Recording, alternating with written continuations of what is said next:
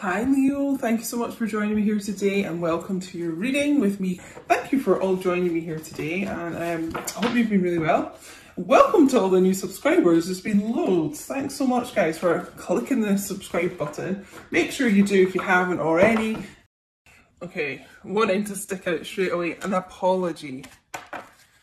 Return forgiveness gifts. So maybe this is why I'm picking up on this anxiety as well um, because it really, really feels that this divine masculine wants to reach out and they want to apologize. You know, they, they want your forgiveness and they know they they need forgiveness from you. You know, they, they've done something that requires forgiveness here. So they want to return here, but there's a huge, huge amount of anxiety around that. So I guess that's what I've been picking up on as well. Um, really really thinking about this a lot and almost on the verge of doing it, but they're holding themselves back so much because of this anxiety around them. They're really scared about how you're going to react. Um, you know, they, they owe you so many apologies. It's just like they're almost not able to bring themselves to do it right now because they're just so they feel so ashamed is the word I just got. Um, and you know, they're worried like are they going to reach out and apologise and you're just going to reject them? So they're kind of holding themselves back from that too. Even though they know they need to apologise, you know, even if you didn't want them back, they know they need to do it, but it, that rejection is just something they can't even take right now. But, well, let's see what else comes out here, you know. Are they going to go through with this um, apology? I, you know, I already feel like a lot of them will overcome that. But I feel like this is a lot to do with why the communication is stuck for a lot of you. This apology needs to happen. And this divine masculine really is just, uh, ha or has been, they've corrected me, so they may be coming out of this, but has been um, just really in their head about this, um, nervous, extremely nervous and anxious to do this.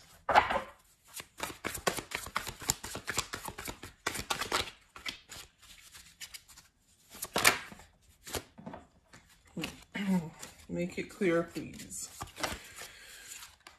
Yes, okay. Conflicted, multiple choices, inconsistency, decisions. Um, you know, I feel like this apology is centered quite a lot around them um, being inconsistent with you.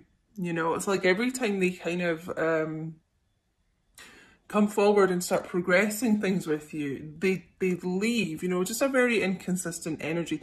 And like what they were saying to you didn't match up with their 3D actions. You know, they could have been like, wanting a lot of commitment with you, maybe even like suggesting moving in together, you know, really committed things, and then leaving, it feels like, you know, and obviously we've got this kind of third party, like multiple choices, options around here, um, and really making the wrong decisions a lot in the past.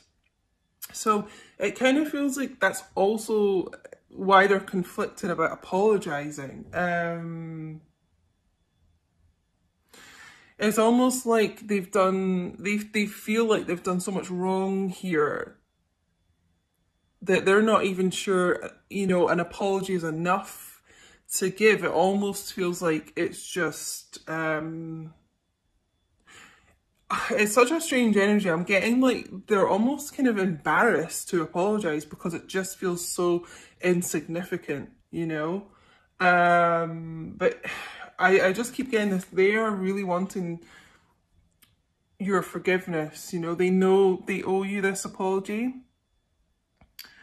Um, and they just, they have been really conflicted about reaching out about this. Um, it's almost like one day they think they'll do it and they're kind of trying to psych themselves up to do it. And then they just can't quite go through with it. yeah.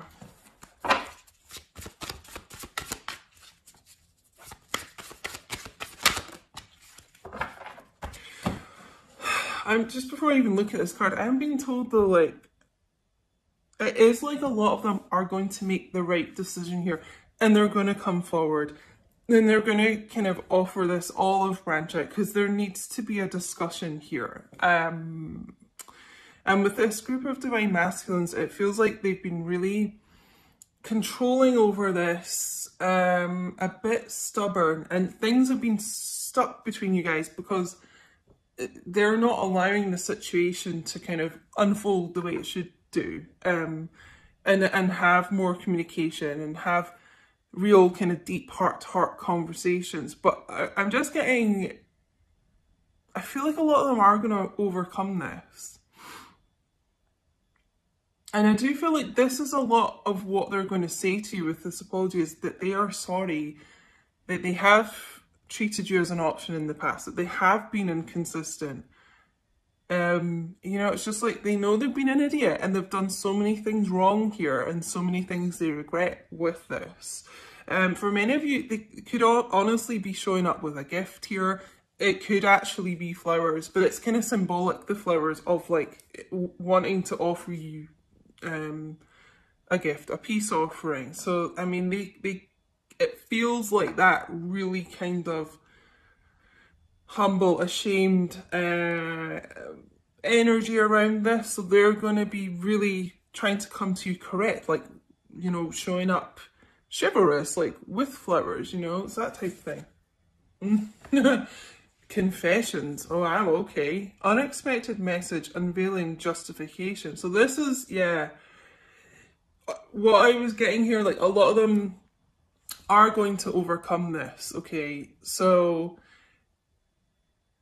it feels like a confessional. You know, I've been getting this quite a lot in my personal readings as well. Like, um, someone really confessing their sins to you, you know, their innermost um thoughts, secrets, emotions, feelings. Um you know, they're actually going to be revealing quite a lot to you, it feels here with this unveiling, like unveiling, you know what? What the image I'm getting is someone actually removing their mask. Okay, so this is like a divine masculine who suddenly you're really going to be seeing underneath the mask how they feel, what they've been thinking. They're um. It's like they're going to be opening up to you in a way that they haven't um, before here. So yeah, expect, um, you know, an unexpected text message or something here coming in. Um, they do want to confess a lot to you. Um, for me, this is uh, someone who could work in the music industry and normally with the microphone here. Uh, songwriter, musician, DJ I'm just getting. Um, could even be someone that uses a microphone like in their job, like if they're a lecturer or something. Um, but yeah, it's, it's gonna kind of come out of nowhere here, this.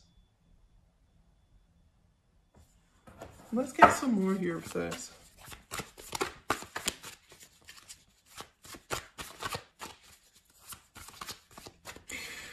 I'm also just being told as this conflicted card. Um, it's like a lot of you are going to be conflicted if you're going to entertain this divine masculine.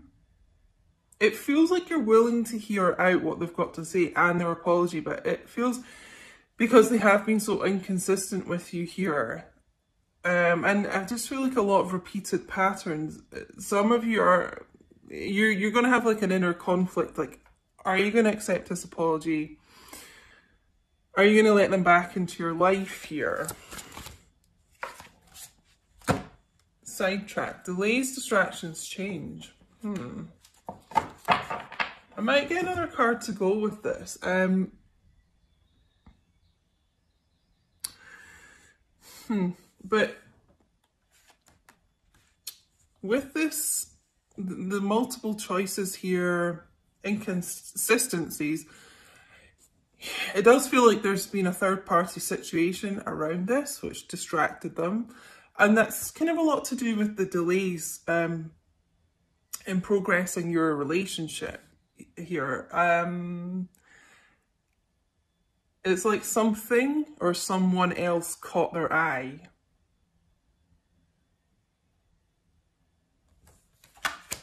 But I, you know, I always get like a feel of change coming in with this card.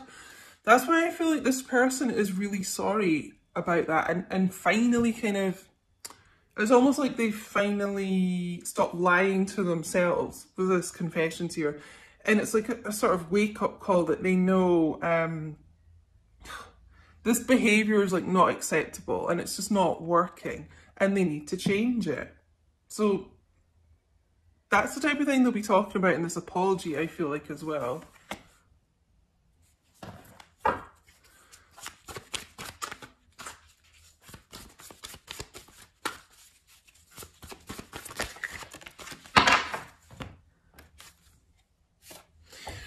Illusions, clouded judgment, and balance skewed. Yeah. Um, you know I said like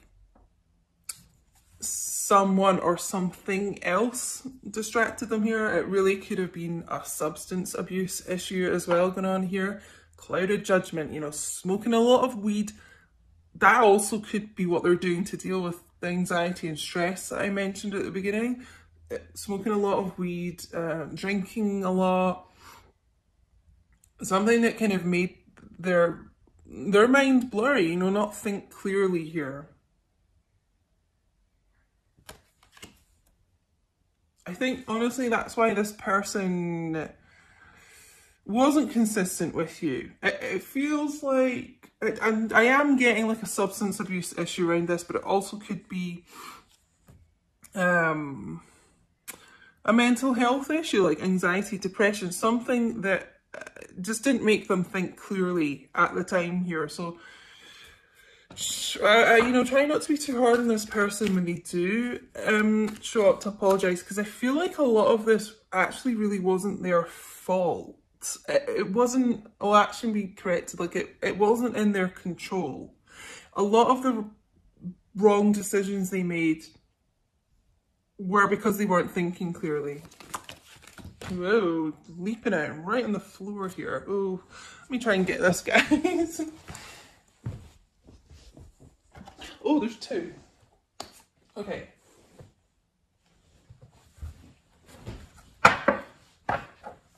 So, okay, we'll go with, with this one first. Letting go, releasing, walking away, moving on.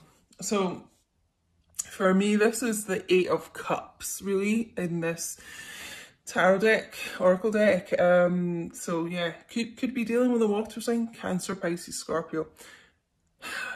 Um, I'm getting you know a couple of things from this. This is this divine masculine releasing something like that, something toxic, addictions, things that didn't serve them. Really, you know, walking away from that, moving on, releasing that, okay? It's almost like, you, you know, like I said to them, like them being truthful with themselves, honest, this confessions thing, it's like they're releasing the things that clouded their judgment, the things that didn't serve them, and they're being honest with themselves. Um, but, you know, I feel like this is many of you divine feminines what watching like you have um released your divine masculine. You know, you, you, this got like too much for you to kind of handle and you didn't really feel like it was progressing forward and things. So some of you walked away, you know, and it doesn't have to be permanent, but you, you know, you released it from the time being, you walked away. And this divine masculine has really felt that. you know, as with these connections, that's what happens. Like when you kind of just like you're kind of done, you let go, release, um, it's, you, you, they feel your energy pull away from them, you know, and this is what's kind of bringing this person back in, this return. Um, we also got mirror, uh, reflection, shared feelings, you. So, like I said, you are a mirror of each other, you know, they feel how you feel. So it's almost like this magnet, like when you kind of started to walk away, pull your energy away, it pulled them to you. You know, and it's kind of brought these shared feelings uh, together because they've realized um you know how much they miss you how much of a void there is in their life without you. And really you know you kind of moving away like i said like a magnet draws them to you. And so now their focus is on you because your focus is on you. So their focus is on you if you get me. Hmm wow i mean this is quite a heavy read so far hmm but I just, I really do feel whatever was clouding their judgment could be some toxic people around them as well. Because I'm getting the word toxic a lot. So that could be, like I said, substances, drugs, alcohol, but could actually be people. And they're letting go of those things here. Okay, so I'm actually going to get some romance angels.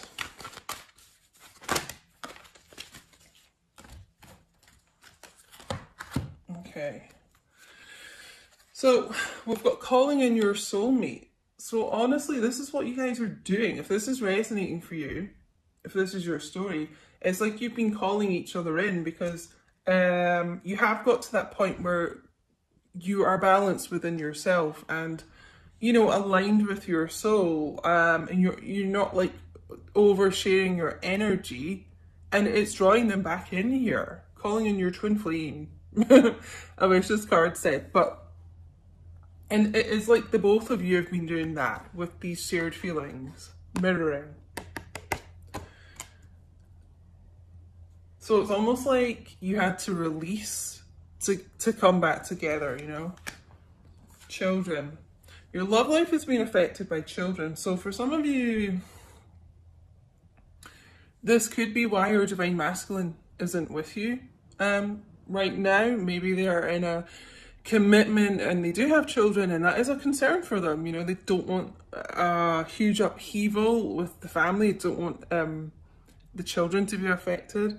Some of your divine masculines may want children with you. That's maybe something you've discussed or maybe some of you are actually pregnant um with your divine masculine's child um but there is some issue with with children coming in here it could be a blending of family as well coming together. I do feel like that could have been an issue that has has for some time like stopped your divine masculine um yeah like i said being with you for some of you um they couldn't quite leave because they didn't you know they, they were trying to be there for the children which you know you have to give them props you know that that is a good thing thinking of the children. Hmm. Unrequited love. There's not enough attraction or chemistry to keep this relationship going. You know, for me, it feels like that's a lot to do with these karmic third party situations, and that's what some of them eh, have let go of. That's what they're walking away from, moving on from. Um, because to be honest, I am getting yeah, strongly today. Like a lot of these divine masculines were in relationships, marriages, whatever, with kids, and there wasn't really a lot of love there. There was nothing holding them together except the children. But it's finally like this group of divine masculines, if if that's going on around them, um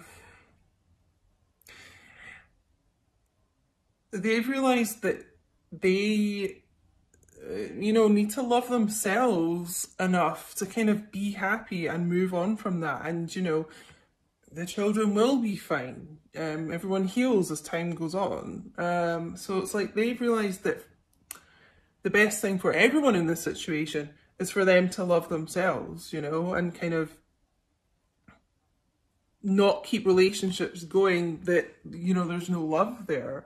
And by then kind of loving themselves more and and and it feels like you divine feminines as well like loving yourself first actually is what i'm being told to say that's what's calling you two into each other as well because you're finally uh giving yourselves unconditional love and that's what's been needed here Let's get some Tarot Illuminati.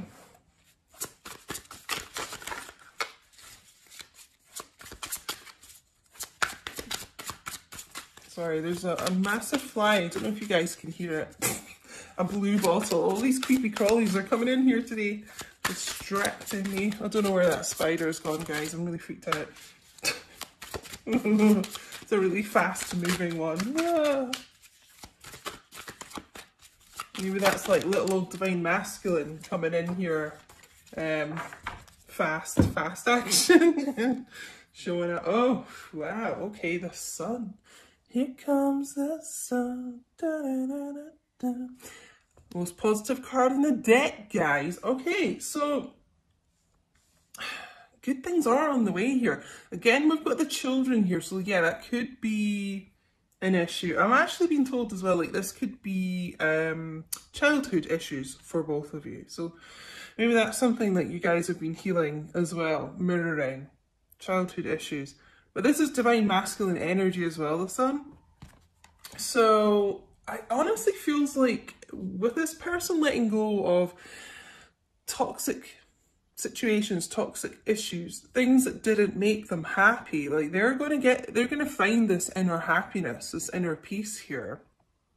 Um, there's like an inner light kind of healing them from the inside out. Um, some of them may have been going through like a detox rehab situation. Um, but yeah, I mean, real like positive times coming through here, guys. actually feels like like a stronger divine masculine. This person was not in the strongest of kind of mindsets before, but it feels like they're they're progressing to that. Um, this is also Leo energy as well. If you guys can hear the sirens as well, there's a lot going on in this reading. Sirens, like for me, that's always like wake up calls, like like divine masculine, like wake up, wake up. We know there's a lot of awakenings going on right now in the collective. We know for the divine masculines.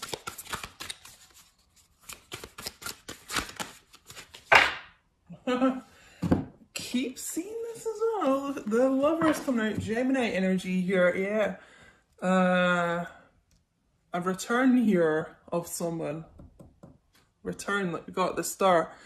You guys coming back together because they do know, you know, who their, we'll say twin flame here. These cards don't say twin flame. Who their person is, basically. They know and who they want to be with, okay? A lot of reconciliations happening. A lot of reunions happening 2020. And you guys might be seeing um, 1111 a lot. I've been asking this on my social media because so many people are. Um, there's going to be a lot of reunions happening in 2020. Not everyone, unfortunately, but even just seeing 1111 is a really positive sign. Like you're on the right track. You're getting more balance, like I said um, earlier, within your within yourselves. You know. Yeah. Like this divine masculine wanting to to be with their true love. Almost like this card was saying, visualizing it, affirmations about it, law of attraction type thing. They've been thinking about this a lot, thinking about what makes them happy and trying to kind of it feels what it feels like is this group of divine masculines uh they've almost tried to be a bit of a people pleaser here too much so and and not really focused on themselves enough and that has really hindered them and also your connection. But it, they're, they're going to start putting themselves first more, I feel. Um, King of Swords, who, little transformation king here, metamorphosis. Yeah, like I said, have been through like a lot of spiritual growth, healing, awakening. It's also about communication, guys. So, I mean, the King of Swords is pretty decisive, pretty confident here like I said, overcoming this kind of inner conflict, should I reach out? Do, you know, should I apologize? You know, would that even be enough? Kind of overcoming that. Um, can be pretty kind of cold, distant, uh, isn't, you know, air sign, Gemini, Libra, Aquarius. So if you're dealing with an air sign, um, you know, your masculine could be quite kind of standoffish, doesn't reveal a lot, but inside there's a lot of love for you. There is. Um, yeah. Um, but yeah, it's about logical communication. So it feels like when this person, um, with them getting into a less clouded mindset, you know, th th this is about coming forward with truth and clarity. Um, truth, you know, truthful communication here.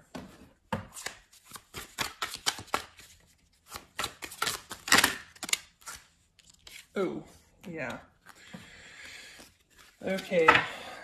Yeah, so there has been a lot of tower moments here with this person, with your connection even. And but this is about sudden change. So, you know, this is like the universe, source, hit, hitting this person with a lightning bolt here, kind of waking them up. Um, getting them moving forward out of situations that they've been stuck in for a long time.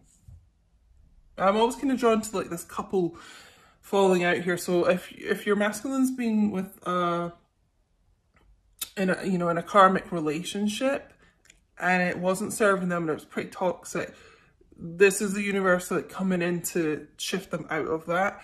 But it's also sudden change within your connection. It's like a sudden like we got here, unexpected message, but just, I, I got this phrase last week in a reading, expect the unexpected coming in here with this person. They've really um, had a bit of a wake-up call here. But yeah, this is like sudden change coming in to the connection. Sudden movement forward, it feels like.